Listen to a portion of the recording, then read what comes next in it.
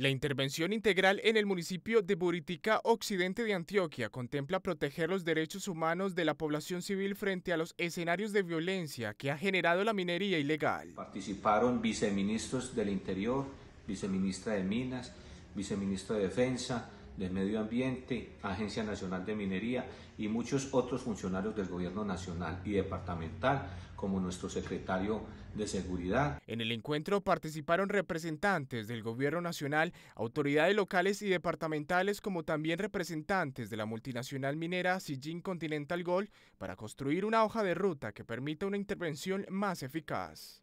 Donde va a estar toda la institucionalidad eh, trayendo una oferta importante en diferentes sectores poblacionales y agrarios para así dinamizar la economía del territorio.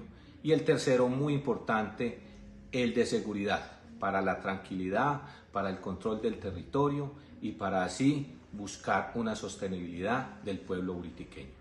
De acuerdo con lo acordado, en los próximos días llegará al territorio una comisión de la Procuraduría General de la Nación para conocer las implicaciones de esta intervención integral a la población de Buritica.